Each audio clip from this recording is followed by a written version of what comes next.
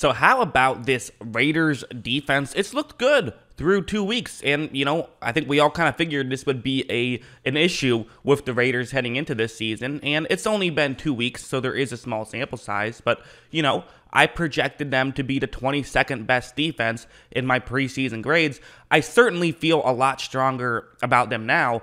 And a big part of it is because kind of two corners have really emerged to surprisingly play very well for the Raiders. And, you know, that's a big part of what I value about football is cornerbacks. And I think part of why these edge rushers also are looking better than they have in years past is because now quarterbacks don't have, you know, guys open immediately, they have to try and bide more time, and then the pass rush has time to get there. And also, of course, adding Yannick Ngakoue helps in that regard. But the two players I'm mostly talking about are Casey Hayward, who kind of had a rough last season with the Chargers. So I kind of figured, okay, maybe there'll be something there, but I don't know.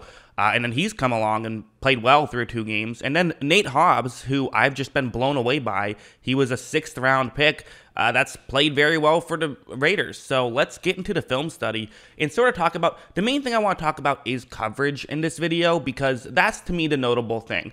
Uh, the past few years, their coverage has been abysmal, and now that it's looking good, to me, that's the more interesting thing to talk about with the Raiders. So, like, starting off with this play, this is a classic example of what would just completely destroy uh, Las Vegas last year with the Paul Guenther defense. Because, again, the defensive coordinator shift has clearly made a huge difference. They now have Gus Bradley, who I'm, I'm not sure I'm willing to call him a god necessarily, but it's certainly a huge upgrade from Guenther. Uh, and he clearly has a plan and gets these guys in position, which is, I mean, that's what your job is, is to do as a defensive coordinator. Uh, anyways, this is a cover three zone right here. And the way this play works is your number one receiver to the offense's right is going to just run a go route, and his job is to push the cornerback in that area further deep. You then have another receiver who's going to kind of just, uh, you know, start off as though he's going towards the flat in that area, but then he runs deep. So the idea is that Casey Hayward, who is the deep corner on this play, he then runs further deep, covering the go route. You have another route that's open. Uh, and unless someone can adjust and notice this, this is a good concept that can work. So right when this play starts, you notice that. So Hayward is, you know, getting uh, taken away a little bit on this deep route. Uh, I'll give credit to, uh, I believe it's Amik, A-M-I-K Robertson. Uh, he's the guy who I've have in the yellow circle. He's reading this play pretty well, trying to get into the play, which is, again, uh, last year for the Raiders, there would just be a wide open guy right here. So already doing good. But also watch Casey Hayward, and you know, again, he's a veteran. He's seen a lot of stuff. Watch what he's gonna do. He reads the play, gets back over, and not only knocks it away, nearly had a pick right there. That's just an incredible play, and that's something that the Raiders did not have last year. So I I like the move to get, get Casey Hayward. I thought, okay, get a veteran in the locker room, sort of help out these young guys. That's kind of my mindset, and hopefully he can contribute. I mean, he's currently Pro Football Focus's number one graded cornerback, so that's crazy in its own right. So again, that's part part of why I think that this Raiders defense has surprised people. It's, well, they've had two key players come in and really play well. Now we can talk about a play like this as well, because Trayvon Mullen also deserves some credit. Now he's not a star necessarily, but uh, he's played well in his own right, and he's probably shown that he's at least a like a solid number two corner, maybe even a good number two corner. So again, when you compare that with really, I mean, the Raiders kind of have again, it's is it too early to you know crown Nate Hobbs or to say Casey Hayward is all the way back? Probably, yeah, but still, you got three of these guys, so that's what gives you a lot more hope. And one thing I like, again, this is an, another coaching thing on this play. So it's gonna be a cover three zone, and you see the route. It's it's a go route in Mullen's direction. And one thing that I think that we're seeing the Raiders do a little bit more, although I also think that there's a way maybe you can counteract this, and I'm interested in seeing what people, what the Raiders do once teams kind of have a better game plan against this defense, because the Steelers' game plan it wasn't good. Uh, that has to be mentioned. It wasn't a great game plan, but still. Uh, so watch what's going to happen on this play. So look, I mean, I would say the linebackers are a little bit quick, uh, slow in getting back, which means that if this was kind of a route over the middle or maybe even just a curl route, it could have potentially gotten open. Mullen is actually playing this what you're supposed to do by staying a little bit further deep because you don't want to get burned deep. That's your job on this play. And, you know, over the middle, there's help there. So even if you do try to, you know, run some curls, run some stuff over the middle, it's not a guarantee it's going to work. Although that is the one aspect of the Raiders defense. I still want to see a little bit more. But, anyways, watch how Mullen is going to finish on this play. He is able to hang with Claypool, and he's going to go up and knock the ball away. Uh, very good play from Trayvon Mullen. Did exactly what you want to have happen there. So, again, that's a good example, I think, of both a good play from Mullen and also maybe the one concern I have about this Raiders defense because it is a small sample size. It's not to say that I think that they will fail in that aspect. I just, I, I do want to see it, is what I would say. That part isn't necessarily a negative, it's just a bit of an unknown. All right, now let's talk a little bit about Damon Arnette. I kind of mentioned that last week. I think part of why the Raiders defense looked so much better is there was no Damon Arnette in there. He only took one snap. He took a little bit more snaps in this game, did have a nice pass breakup, but that was it. Uh, and definitely looked a little ugly at times.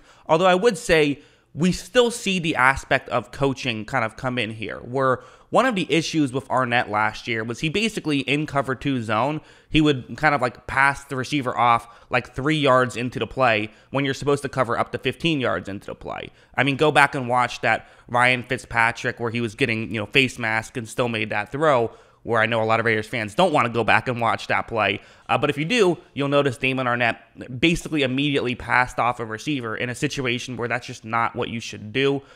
And I, I got frustrated with Paul Guenther because he had this problem all year and nobody said anything, it seems like, because he kept having the same problem. Well, already in the little time we've seen, he has improved on that problem, even if it's not exactly working out. So, like on this play, it's a perfect example of one where he'd probably pass off this receiver and he would just get wide open into that gap in coverage. However, watch him bail right here and does a good job of, you know, putting himself in a situation where he can uh, succeed. He actually went a little bit too far, though, this time. So, he's kind of figuring this stuff out a little bit. Because, again, at, at a certain point, the safety can come in and make a play. And I think one of the issues just with Arnette is, I mean, he's not the fastest corner. And this is why I, I harp on speed so much because if you don't give this space, it's possible you could get burned deep, which just makes things difficult as a corner. And so Big Ben is able to make a relatively easy throw on that one. So for me, I mean, the unfortunate part with Arnette, and I kind of wanted to talk about him while I'm talking about the Raiders' corners, because that's the interesting thing for me, uh, is uh, yeah, I, I kind of do feel like for Damon Arnette, the reality is he's their fourth best corner. Uh, that's just the reality of the situation. It's not to say that I've given up on him necessarily, but I don't really want to see him have playing time when you're a team that has, uh, you know, playoff aspirations and you have three corners who are outperforming him right now. Really, he should only be on the field when he has to be, in my opinion.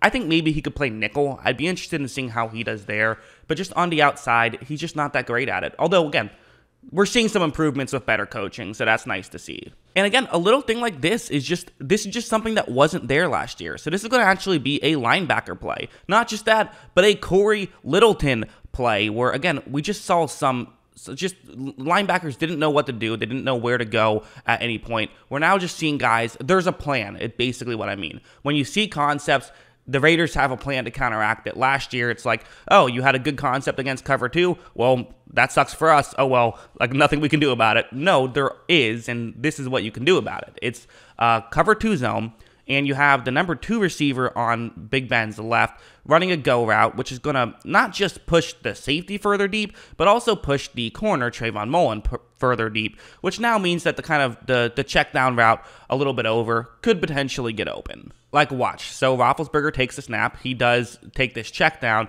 but now you see Cory Littleton, who he is not the guy in charge of covering the flat. He's the guy in charge of covering one zone further up. Uh, the flat being sort of outside the numbers. Uh, Littleton's kind of uh, around like the hash marks to the numbers, not quite exactly, but around there is where Littleton is in charge of covering.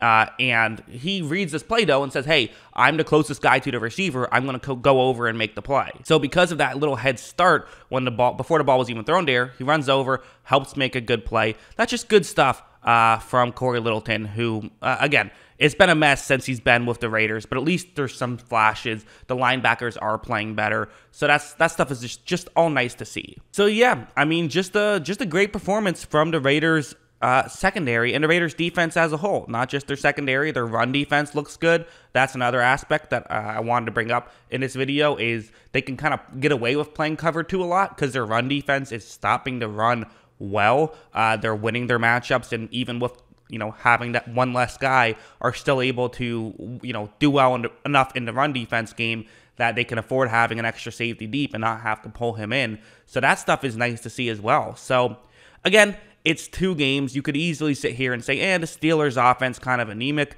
Uh, the Raven, the Ravens' offense is good, but kind of a unique, weird offense. So how much does that translate week to week?"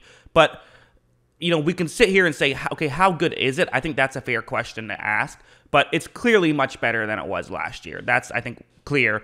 And if they just if they just had a mediocre defense last year, they're a playoff team, maybe even like a, like a Super Bowl contender. So uh, it'll be fun to see, and hopefully they can keep it going. That's what I think. What do you guys think? Let me know in the comments below. And of course, as always, thanks for watching.